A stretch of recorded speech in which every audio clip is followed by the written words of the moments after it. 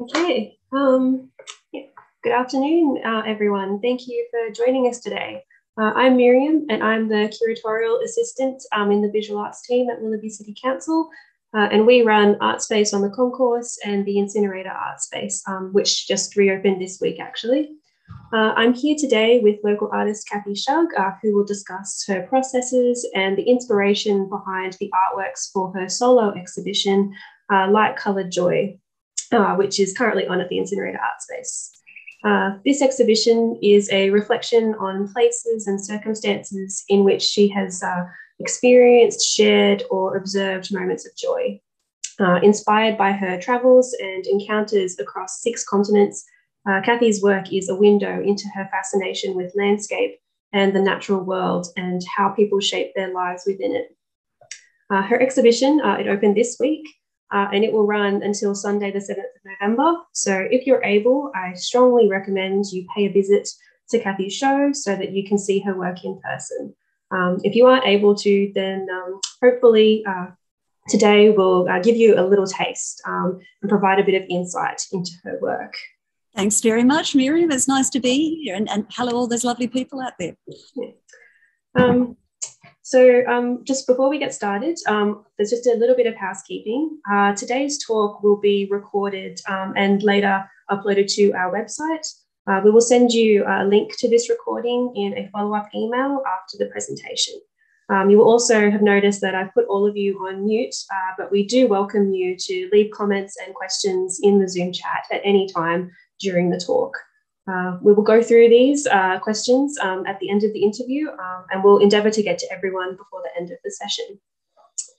So yeah, we'll, um, we'll get started with the first image here.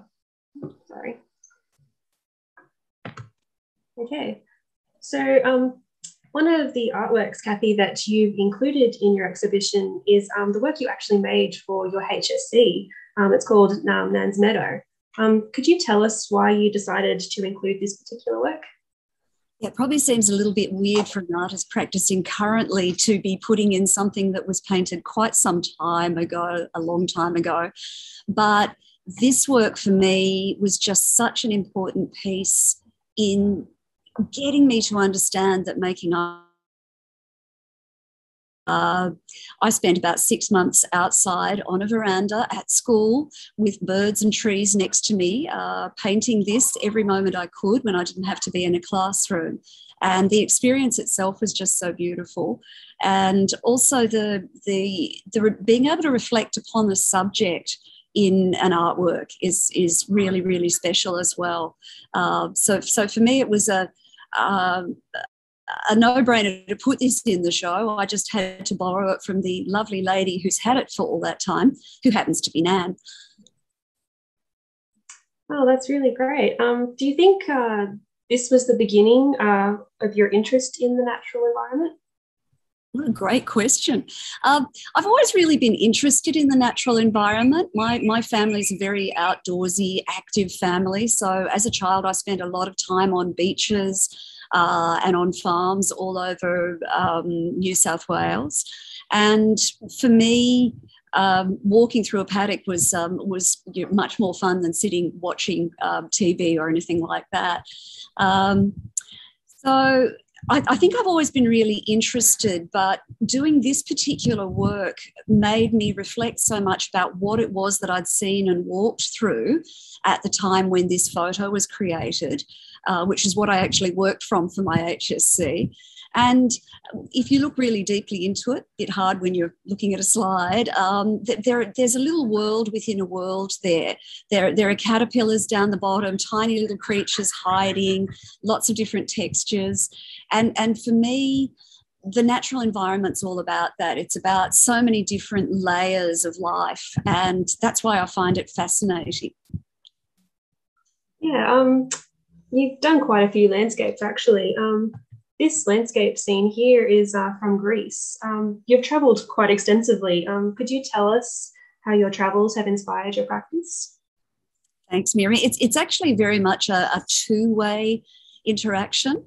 I find that when you're traveling, um, there's so much that's new, and you're often looking at things with very fresh eyes and, and with no preconceptions. But it's not just a case of, of looking at things, it's also a case of feeling and smelling and tasting and doing all that fabulous stuff that you do when you're you're traveling anyway. And that, that becomes in a strange way part of your artwork. Particularly I find when I'm when I'm painting on site.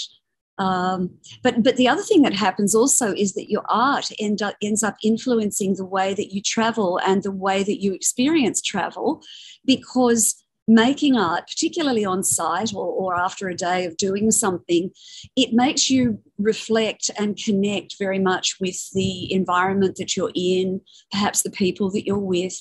Um, so, and it also gives you permission just to sit and really absorb an environment. And so often when we're traveling, we feel that we have to keep moving and stay busy. So, art's a, a really special thing to do on plein air when you're just sitting quietly. Yeah, um, sorry, I accidentally skipped a, a slide, but um, yes, this is the next one. Um, yeah, this painting is stylistically quite different uh, to the other landscapes um, that you know we've previously shown. Um, do you find that being immersed in a different uh, country and culture impacts your approach uh, to painting? Very much so. It's a case of being inspired by what you see and what you experience in a different country, and and also, as I said, that that sort of freshness of the um, the the encounter.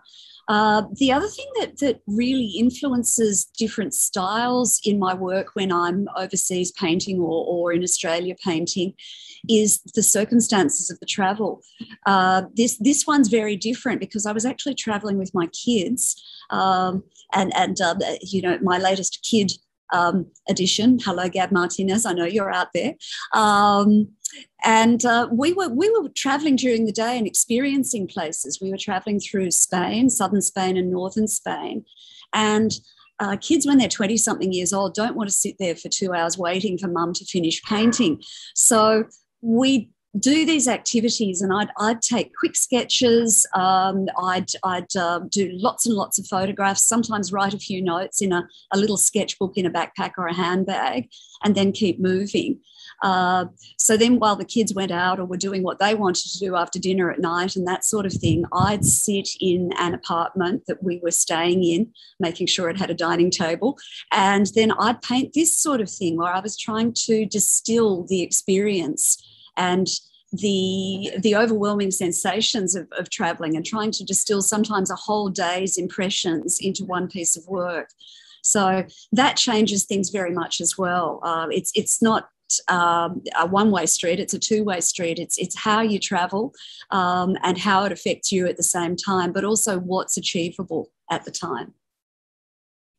Yeah it's really interesting you're talking about um, yeah, having to do something quickly, sketch quickly on the spot, you know, because of the circumstances. Um, and actually, you paint on plein air um, quite a lot.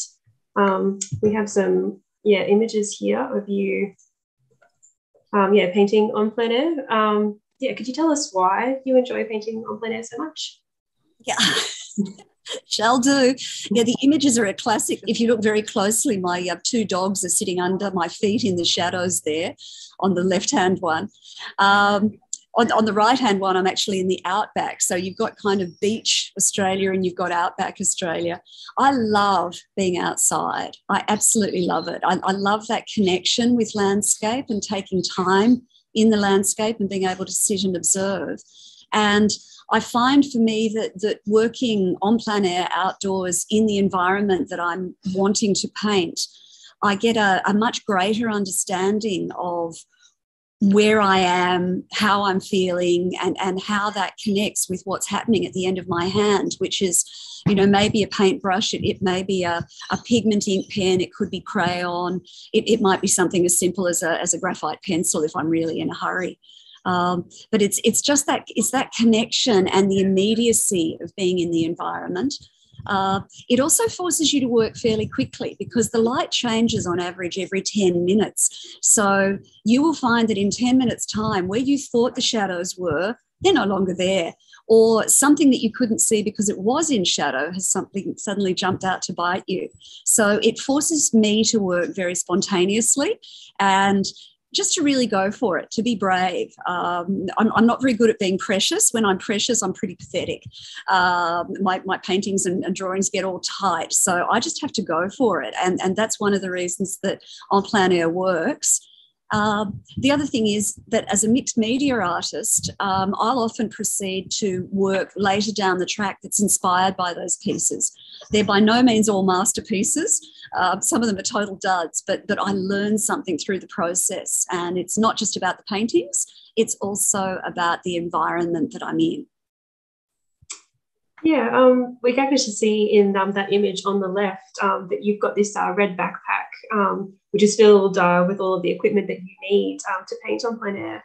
Um, I think we've also got another image of you. yeah, here you are again.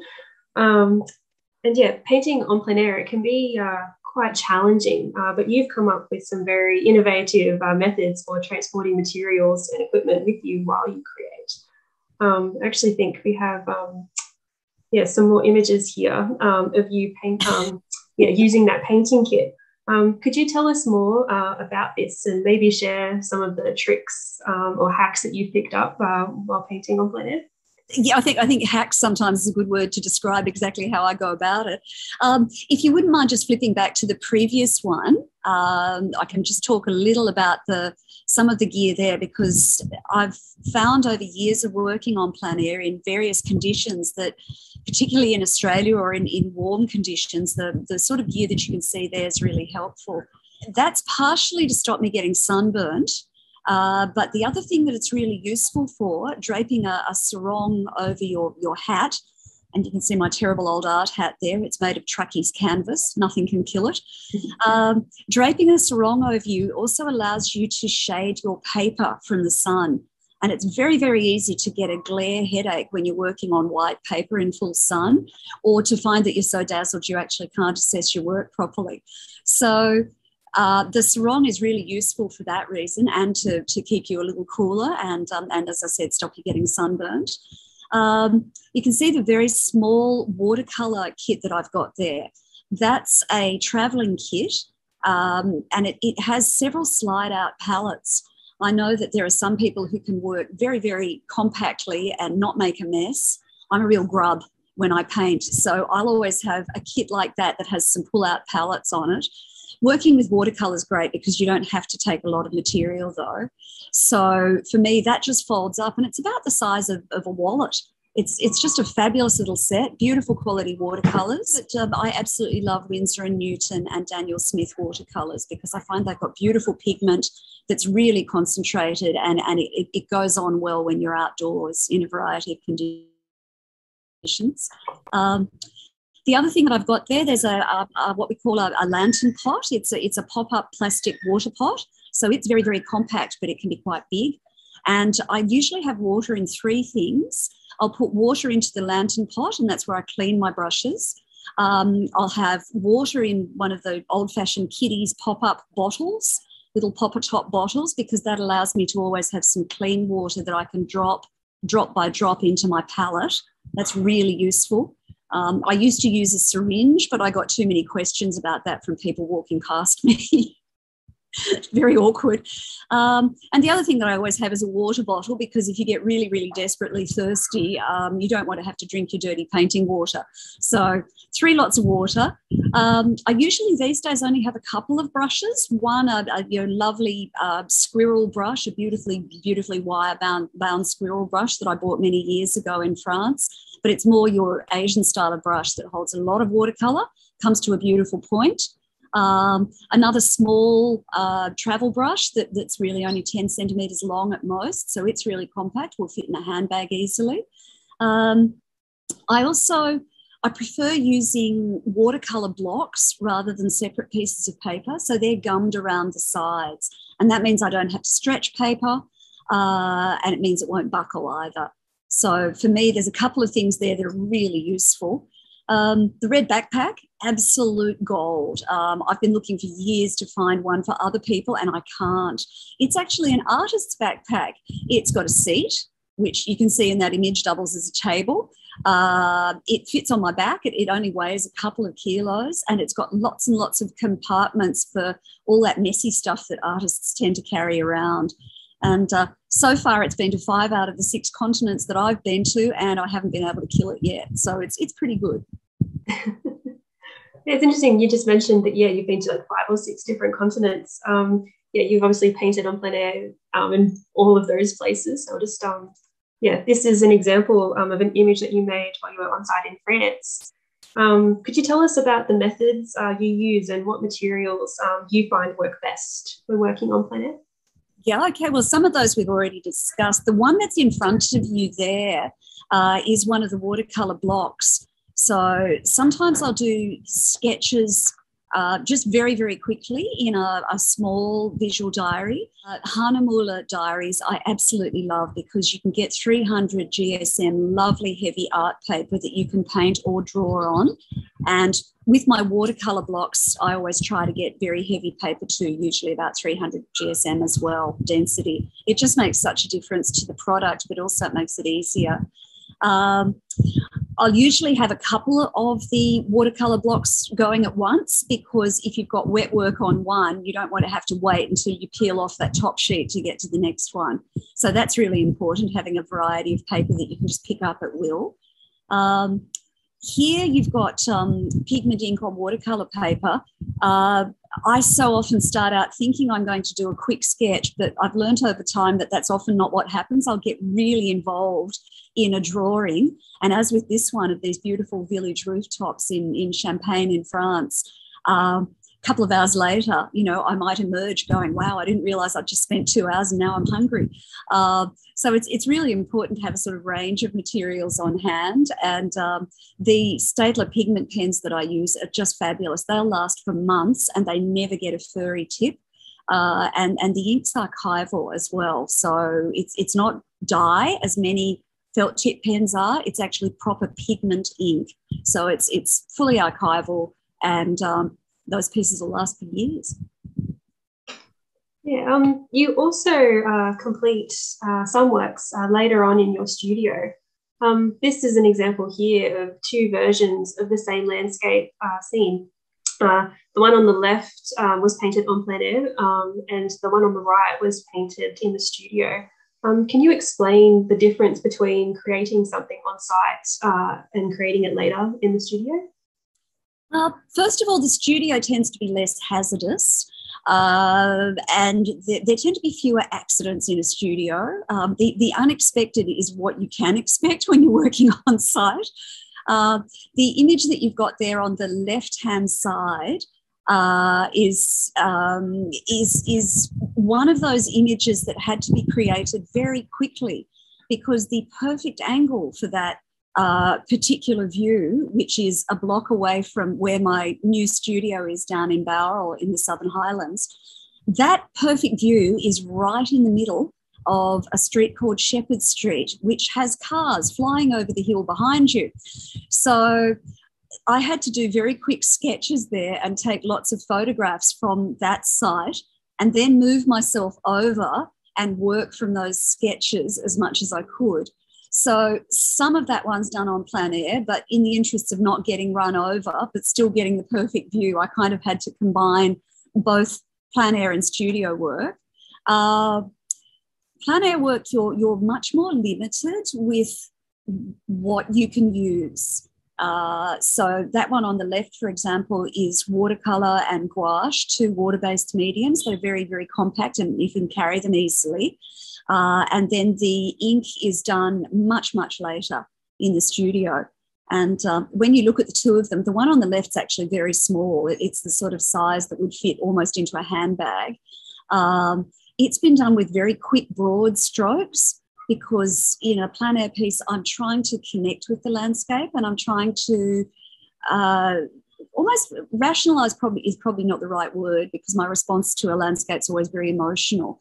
Um, but, but possibly just, just try to rationalize it to the extent where I'm working out where things are, what I'm interested in leaving in, what attracts my eye.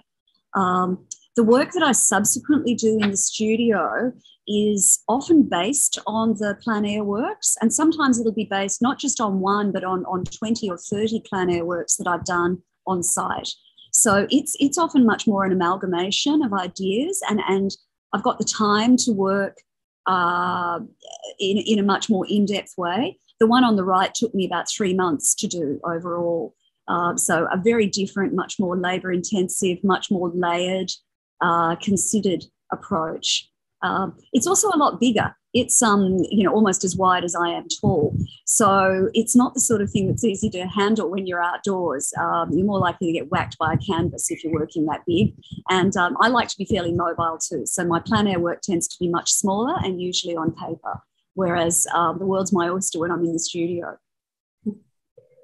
It's um, interesting. You mentioned um, that uh, yeah, sometimes you can be a bit more selective with what you choose to represent in like a landscape like this we've got um, yeah closer up image here of um, the the painting. Um, and this isn't an exact uh, representation of the landscape uh, near your home. Um, you've actually left out um, a number of man-made uh, elements uh, which are part of the skyline. Um, could you tell us why you decided uh, to do this? I'm absolutely fascinated by this environment um, on and off over the last year, a lot more on than off because of COVID and lockdown. I've got to know the landscape around Bowral, where, where my studio is, so well. And it changes a lot through the seasons. Through the seasons, particularly with so many deciduous trees, in spring and summer, and to a degree in autumn, there are some things you can't see. In winter, the man made environment becomes much more obvious because the leaves are off the trees and the sky seems huge. Um, experiencing all that through a year makes you think differently about how you're going to paint something. But also with painting, I like being able to select the features in uh, a, a, landscape or a scene um, or a compilation work where the things inspire me and I enjoy them. Um, it's, it's a little like playing God. And um, you know, there are times when if you find that, that someone's built a particularly ugly building somewhere, you, you can just decide that you're going to leave it out and select something else to put there. So it, it can work better for a composition, uh, but but it, it can also help you reflect on what you're really enjoying in creating an artwork. So in this case, you can see that I'm totally obsessed by trees. Uh, so many different shapes and colours down there, and uh, the, the dear little cottages that are there are actually real cottages, but I've slightly relocated them so that, that I could include them in the composition without them well overwhelming the composition. Yeah, um, we've uh, yeah spoken previously um, about the fact that you've travelled quite extensively and that influences your work. Um, and yeah, all the different places that you visited come through in in your paintings and your uh, other works. Um, here we actually have an image of you painting on plein air in Antarctica, of all places. Um, could you tell us about your experiences while you were there? Oh wow, I, I, could go on for hours. So you just have to shut me up if I'm um, you know rambling on for too long. It was one of the experiences of a lifetime, Miriam. Um, I'd always been fascinated by parts of the world I haven't been to, and that will continue. But when I was 16, um, was sitting at school having a discussion with your very knowledgeable 16 year old friends at lunch, and we were talking about the things we knew we needed to do before we died, which of course is what every 16 year old knows all about, right? Maybe not. Uh, anyway, I, I had decided I wanted to go to Antarctica, and uh, a new arrival at school, absolutely lovely lady uh, who was also 16 at that point, she said, Oh, I want to go too why don't we go together? So a friendship was born and a resolve to go to Antarctica was born. And many, many years later, because it's not a cheap endeavor, um, we got to go. And we selected uh, a very mm, uncommercial, probably isn't the right word, but probably low key Antarctic trip to do. It was an expedition trip we were in a, a, boat, an old Russian research vessel, so there was absolutely nothing luxurious about it. Uh, it was also very expensive to get there, so she scored the bedroom, uh, and I used to sleep on the day bed outside, but at least I had a table next to me so I could paint late at night. Um, the great joy, though, was painting en plein air, uh, which the expedition leaders were so excited to see because they'd seen very few people actually do it. We were very lucky, we had amazing weather. Uh, that, that shot of me there looking particularly not elegant. Um, it was, I think it was a six degree day in the middle of the day when I was painting penguins. And um, the lovely thing about wildlife in Antarctica is that it's not frightened of you because since the Antarctic Treaty signing in 1967, nobody's hunted anything down there on the mainland or on the uh, subantarctic islands. So penguins would walk up to me, have a little bit of a look, maybe just flip me with a flipper. Not that they were being aggressive, they just possibly wanted to find out what sort of strange penguin I was, um, and then amble off. And um, wildlife will just sit there and allow you to be very close to it and paint, or come close to you so that you can paint it. It's, it's absolutely brilliant. And uh, the thing that everybody thinks about Antarctica is, oh, it's all white. It's not. There are so many colors, and we were down there when it was, um, you know, the land of the midnight sun, really. You know, the sun didn't properly set until I think it was about midnight for one minute, and then it'd pop up again. So you'd have these amazing colors across the landscape, but also the Antarctic Peninsula, which is, and I'm on one of the islands in that shot just um, off the peninsula, it's rocky, it's volcanic, it's fascinating. So it has landforms that, that really were just beautiful to paint as well. So I was just incredibly lucky. But you've got to be really prepared. You need to take your gear. Um, I think at that point I'd shed probably about six layers. Um, it's a waterproof backpack underneath me there. So that's why the old red one didn't go to Antarctica. It wasn't going to cut it. Um, you end up with all sorts of, of, weird concessions to the weather as well, uh, in terms of your, of your kit and what you're wearing and, and, and how you move around. Yeah, so yeah, you've just mentioned yeah the cold climates, and uh, you had to alter your behavior, you know, to suit the the climate. Um, I was wondering, um, did the that climate impact the way you approached painting um, or your use of certain um, materials? Sure did. Uh, some of it I, I, had a little bit of advance warning about, so I could prepare for it. And uh, some other aspects of it I really hadn't considered. So you can see me there working with gloves. That's that's a couple of layers of gloves, and and I was very aware that things like hands and feet get very cold when you're not moving around a lot and you're sitting on the ice. So I um, basically harassed all of those lovely outdoor, um, you know, hiking equipment, camping places until they came up with solutions for me that would allow me to use my hands uh, without being too clumsy, but also keep me warm. So um, I'm a great lover of alpaca gloves. They're really, really soft, and you can move your fingers and um, and grab a brush without going too numb. So several layers of gloves, lots of layers of socks, uh, beanie, obviously, that sort of thing. Glasses that are Polaroid and aren't going to blow off anytime soon because if you lose them, um, you know, over the edge of, of the ice, you're not going to find them again. Um, so that's that's the stuff I knew about. Um, some of the stuff I hadn't considered. Uh, the, the, most obvious one was that I was uh, often working in water-based media. Now that's terrific, but uh, water freezes at zero degrees um, if it hasn't got something in it. So I was was discussing this issue because a couple of times I had my brush going quite stiff and clumpy, and it was because the water was freezing on it with the watercolor in it. Uh, so I was discussing this issue with some of the Canadian expedition people on the boat, and given that a few of them were keen amateur artists as well, they were able to give me some really good tips. Probably the best one that I got was paint with vodka.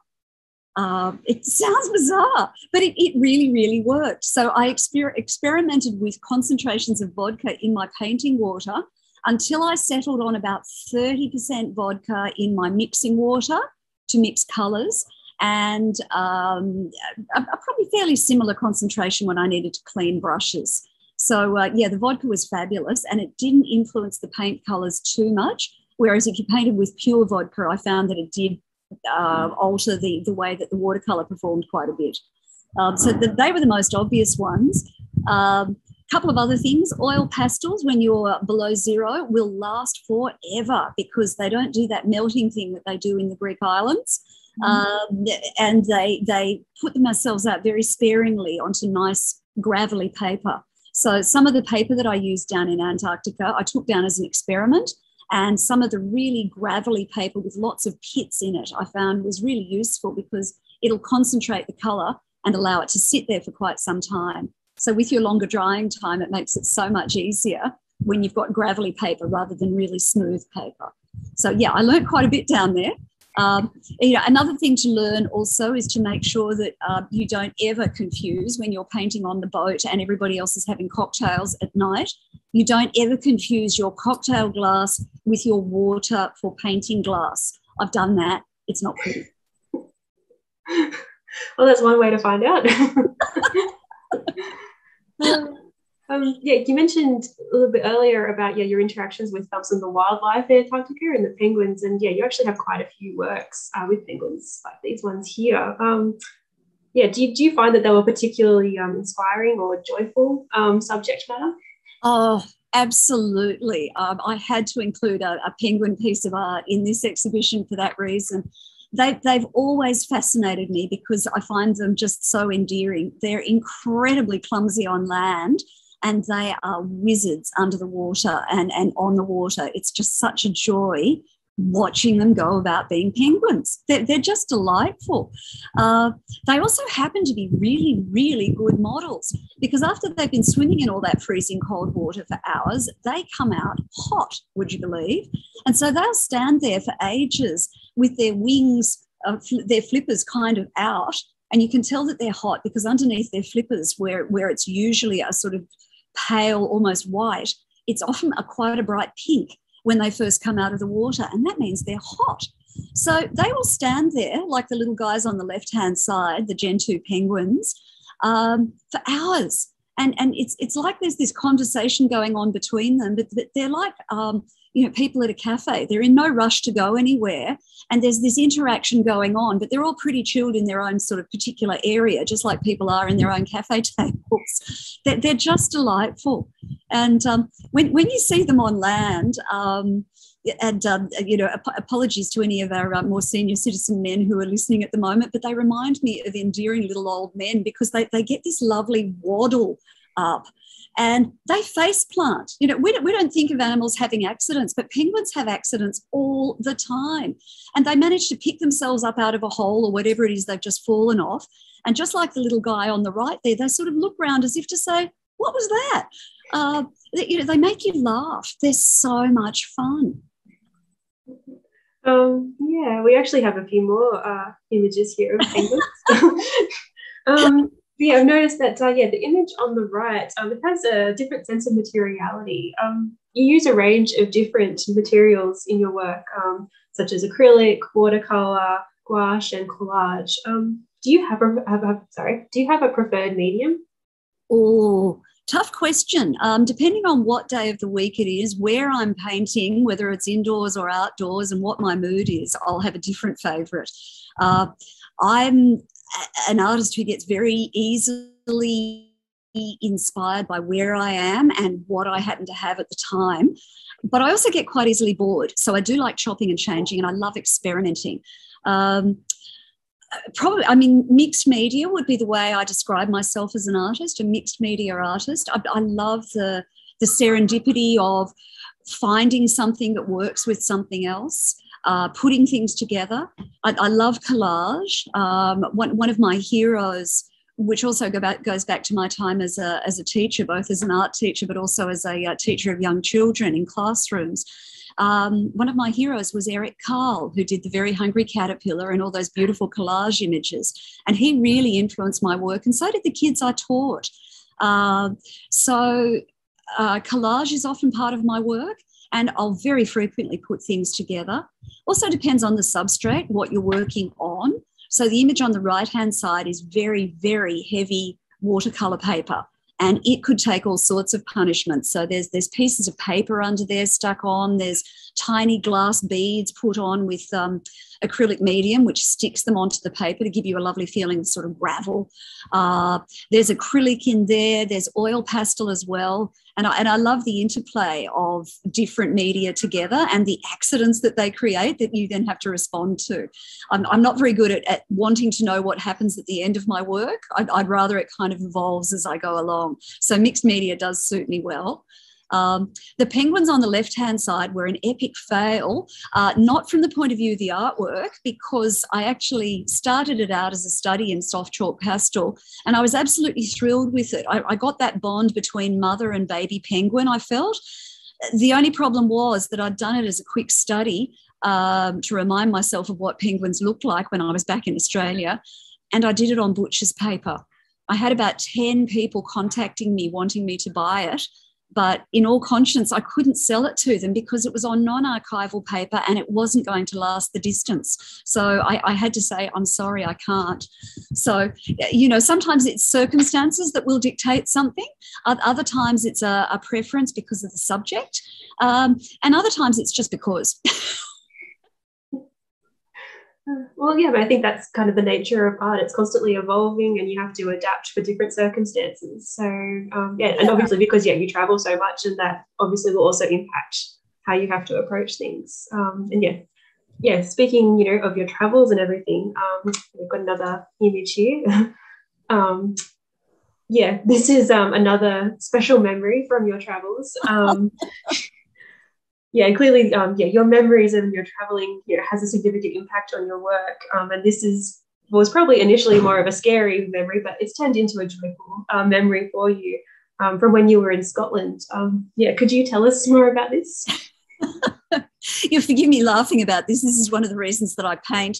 Um, often it's to relive a memory or, or to reconnect myself emotionally to a place. Um, this was the last painting that I did before my elder son was born. Um, so it's in the family collection. I'd be in big trouble if I ever sold this one. Um, his name is Hairy Harry, uh, not my son, the little chap in the painting. Um, many years ago, I was hiking and camping in Scotland as an impecunious student, not much money, traveling with a, uh, a fellow Canadian, and she didn't have much money either. Um, so we were, we were both students together, traveling around on a shoestring, pitching a tent when it was nice weather, which can be a bit dodgy in Scotland, or uh, finding youth hostels and that sort of thing to stay in. This particular night, we were just out of um, the Loch Ness um, sort of vicinity in a, in a little village called Drumnadrochit. And um, it's, it's pretty much where, where Ness is. And um, we couldn't find um, a youth hostel or anything like that. This is back in the days before internet.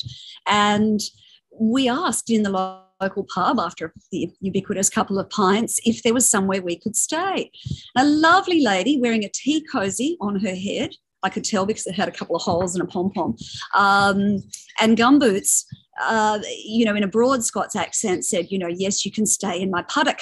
And so we decided we'd, we'd pitch the tent in her paddock and um, followed her home, possibly weaving our way down the road a little. Um, Scottish beer is pretty strong stuff for an Australian, you know, little person anyway, we we pitched the tent, didn't think any more about it. She smiled sweetly and said goodbye, and we promptly went to sleep. Uh, around about the middle of the night, the tent started moving around, and there was this trampling, and there was obviously something very wild and scary outside. We probably told each other a few too many Loch Ness stories as well. Um, the, the, tent was under attack. Um, I managed to crawl out through the tent and saw this massive black thing, absolutely terrifying. And I couldn't work out what was going on, but it was pretty clearly tangled up in the tent. Got my Canadian friend out. Um, she was catatonic with fear at that point, even though she was about twice my height. And um, anyway, the, the scary black thing promptly nicked off with our tent. It dragged it away.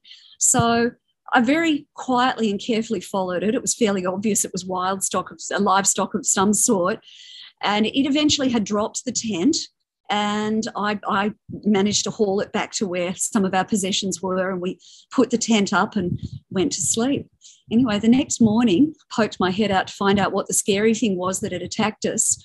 In the far corner of the paddock was this tiny little shoulder height Highland bull with massive horns, but he was absolutely tiny. He was only, you know, a meter, meter 20, meter 30 tall. Um, and he was just happily being fed hay by hand by his owner, who, of course, was the lady in the tea cozy and the gumboots. Um, so that was the story of Hairy Harry. And, and years after that experience, um, my sister in law gave me some photos and said, Didn't you have an experience with a Highland cow? And using those photos and my memory of the scene, that's how I got round to painting Hairy Harry. Oh, that's such a yeah, such a great story. I mean, yeah, obviously quite probably quite frightening at the time, but um, yeah, now it's just become one of those classics that you know you can share with people, and yeah, created this really amazing artwork. So, um, yeah, and yeah, joyful memories. Are, yeah, this continuing theme in your exhibition. Um, and yeah, you actually have a series of still lifes um, on display at the moment at the incinerator. Um, and yeah, these are reminiscent of your joyful experiences too. Um, could you explain uh, how these flower still lifes are a reflection of joy? Yeah, it, it's um, it's something that doesn't immediately leap to mind, and and I know when people come to the show, they all say, "Wow, the work's so different, both in terms of subject and and in terms of, of media and technique." Um, in in this case, um, my series of still life, which I did during lockdown recently, uh, was partially a response to COVID, but also as a memory of some really special things that I'd done, and in this case, serendipity um, I'd, I'd, done an artist residency in rural Provence. Uh, and I, at the time, I was there for six weeks. And every morning I'd take myself for a walk by the canals and find different things to paint. And I'd also find wildflowers and sometimes things in hedgerows. Um, you can see there's some cotoneaster berries there and that sort of thing, which we tend to think of as weed here, um, lavender, various other things. And I'd just pick them and bring them back. And this still life is is not just about flowers and a few things in a fruit bowl. This still life for me actually distills those beautiful experiences of all those walks. And painting this which i did have to do from a photograph uh, and and from previous paintings of that same bunch as well um, painting painting this just really reconnected me to those joyful walks and that amazing scenery and and also encounters um, you can see that there's a um, there's an heirloom tomato there and some figs and um, and grapes. I'm just telling you what the blobs are in case you can't work them out. Um, they were from farmers markets. We'd go to the produce markets uh, at least a couple of times a week to buy everything for um, the artists and our hosts to be eating. And you'd be really lucky with what you could find sometimes. And uh, the food was absolutely beautiful, you know, all grown fresh in the Provençal sun. And um, so that's another part of serendipity too. And I really enjoyed painting those things because, again, it'd take me back to the markets and those lovely encounters with gruff Provençal farmers who found it fascinating that an Australian artist was here in Provence but could also speak French and ask too many questions um, and bargained, all those things.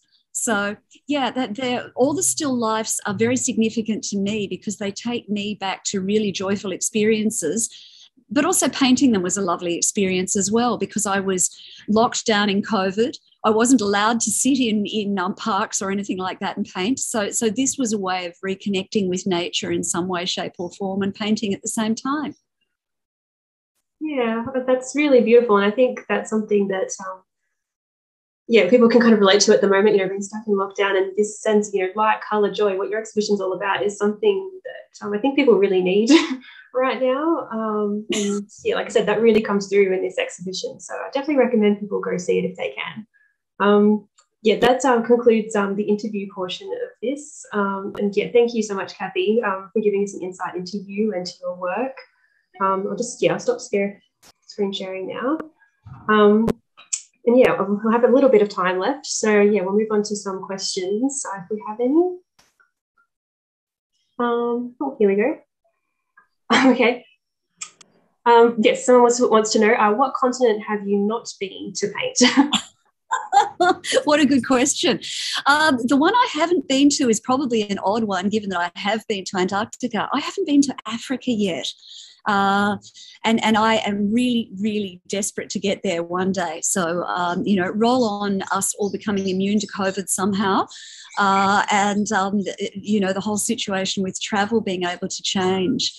Um, I, you know, my partner was born in South Africa, and um, I I not just for that reason, but also because it's a, a land of just so much fabulous stuff uh, and, and culture. I just can't wait to get there but I'll have to wait. yes, unfortunately, but hopefully soon. yeah, international borders will open up and we can start moving around again. Safe? Yes, please. I'm desperate to get on a plane. I'm, I'm excited about the idea of being strapped into a tin can for 24 hours. Go oh, really? That's always the worst part. Yeah, but if it gets me somewhere, I'm prepared to put up with it this time. Fair enough. Fair enough. Okay. Well, the next question. Um, oh, have you ever thought about writing a book or an ebook? Um, I would buy this um, as stories, as your stories are so interesting. thank you to that lovely person. Um, strangely enough, my progression as a professional artist started with writing books for children. Um, I'd, I'd, taught children for many years, always had an art practice on the side, but uh, coming from very solid, you know, working parent sort of stock, it was, it was, I never considered as, as a potential profession. Um, writing was something that I seemed to be a little bit better at. And um, uh, at, at one point, I took a, a bit of a break from teaching to write. But I found that the whole process of writing, while it was fun doing it, the whole thing about contacting publishers, waiting for revisions, uh, the rejections aren't great either. Uh, but the, the, lack of um, your own ability to drive your own ship, if you like, um, you know, to, to send things your way when you're working in writing, I found quite frustrating. So what I used to do as a, a way of um, staying sane really and also seeing people because writing can be very solitary um, so can painting. Um, I'd, I'd, go and do an art class or two here or there just to keep my hand in because when i wasn't working with the children i wasn't doing a lot of artwork myself. So i was missing it. Anyway that's the painting started selling off the walls and, and i've been painting ever since so um, I'll get back to the writing one day, um, and you know I might even end up illustrating um, illustrating things myself. But again, that's repetitive, and I'm easily bored. So um, yeah, we, we might have to stick to the writing and get a professional illustrator to help me out. well, if you do decide to write a book one day, clearly you've got an audience already. So thank you, kind people. okay. Um, oh, next question. Um, what period or style of art has been your biggest influence and who do you draw inspiration from? oh, you have so many different mediums, uh, compositions, etc., stylistically. So assume this has also changed as your work has changed over time. Wow, what a great question! Thank you to the person who asked that one. Um, I've I've got some heroes, some absolute heroes who've hugely influenced my work. Uh, early on, I was absolutely fascinated, as as so many people are, by um, everybody from the Dutch masters uh, with their fabulous, almost super real, hyper real still life work and and their interiors. Uh, I was fascinated by them. I was fascinated by um, Rubens it's it's also really lovely to see you know the way the female form can be depicted in so many different ways as well. Um, my real heroes though as i progressed through my art education at school uh, which was a fabulous education. Thank you miss pringle if you're out there. Um, my real heroes were the 19th century artists the impressionists the expressionists and my two art gods, if you like, are Van Gogh and Matisse. And um, also Eric Carle, the illustrator and, and, author, he's in there as well. They'd probably be my big three. Um, Eric Carle's work was so joyful. So was Matisse's. And of course, they both use collage and, and really strong color. And um, Van Gogh, I would love to meet him at a dinner party and I'd love to be able to tell him, you know, what a difference he's made to our lives. You know, either because people love his work or because people like me are so endlessly inspired by him and how he depicted everyday life, what he did with landscape, how he used color. You know, they're probably my big ones. Yeah. But um, I think it would be interesting to see, you know, like, because obviously Van Gogh, you know, wasn't um, yeah didn't sell paintings during his lifetime and everything. So it would be interesting to see you know if we could bring him back and just show him the influence the impact that his work has had um, since since he died unfortunately. Um, yeah that would be pretty cool i think. Oh absolutely. Well you know he and and and, and a bunch of the french artists um, they, they really liberated color from what people perceive as as color you know color became something that could express something of itself uh, and for me, color expresses emotion. You know, I, I use color to help express how I feel about things. And and uh, uh, you know, the the art teacher who was after the legendary Miss Pringle, uh, she once told me that I couldn't paint trees blue. Um, Van Gogh did. And I've been painting trees blue ever since. So thank you, unknown lady. You actually, you know, made me get a little bit moxy about that one. And and um, I've I've liberated colour thoroughly, um, partially influenced by those artists, but also when you're told you can't do something, you often decide you're going to. yes, definitely. oh, we've got one more question. Um, of all the amazing artworks you've done, do you have a favourite piece? oh, that's a really tough one. Ah, um, I, I, I've had some favorite pieces when I've been doing them because they sometimes they've just been such a joyful process in themselves. Um, artworks can be a bit like bringing up children. Uh, you know, sometimes they're delightful, and then other times you have to work really hard to like them, even though you always love them.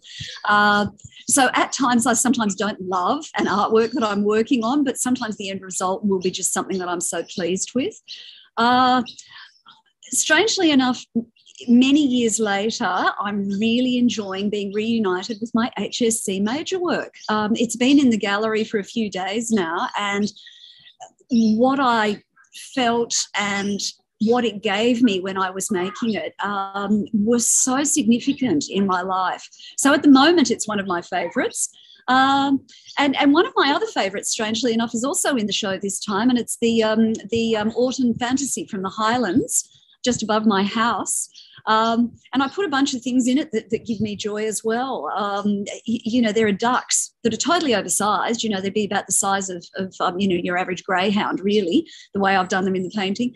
It gives me great joy as well because it's just so bright and it, and it connects me again with an environment that I'm just loving being in. And, and I love watching the transformation and also being part of the community is really good fun too. So, yeah, th- those two at the moment in this show, anyway, are my highlights, uh, my favorites. But if you ask me next week, I'd probably say something different. oh, well, maybe we'll yeah we'll do another session next week, maybe, and yeah, we'll see see how you're feeling. yeah, we'll see what I say next week. and it'll be interesting to see what what other people respond to. It's um know, thank you to Willoughby Council for, for providing this space. It's the second time I've exhibited here, and it's a joy to exhibit in. It's this lovely historic old building, um, once upon a time a garbage incinerator, and it's just been repurposed so beautifully. And I'm enjoying having my artwork in it. But the other thing I'm enjoying is seeing real life humans. And um, thank you to you real life humans who are out there. And, and I, I know you're still, um, you know, out there, even though I can't see your faces. It's, it's been really a pleasure. But, but seeing real humans in the gallery is just a delight. And, and people stopping and staying and chatting. And, and uh, after months of lockdown, I think that's a really nice thing for all of us. Yeah, definitely. I agree. Um, think yeah, that's all the questions from the audience. And yeah, we're getting close to um, the end of the session. So I think I'll just, um, I'll wrap up now. Um, but yeah, thank you everyone for, for joining us today. Um, I hope you enjoyed it um, and learned something new. Um, and thank you especially to Kathy uh, for being a part of this. Um, and yeah, I definitely encourage everyone to visit the Incinerator Art Space if you can. Um, you have until the 7th of November to see her show. Um, and there's nothing like seeing these works in person. So if you can, please come. Um, yeah, um, yes. Also, if you've got a little bit of extra time, um, I would also recommend uh, paying a visit to Artspace on the Concourse, uh, where the Association of Korean Visual Artists in Australia is currently showing a group exhibition called Here and There 21, uh, which features paintings from both real life and from emotionally influenced memories and recollections of Korea. Uh, so yeah, uh, before we go, um, I'll just let you know that uh, we will be resending, we will be sending you um, this recording in a follow-up email, um, as well as um, a link to subscribe to our monthly e-news um, if you're interested in signing up.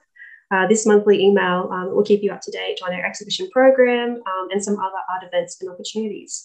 So yeah, thank you again, and we hope to see you all at our art spaces soon. And yes, thank you so much, Kathy.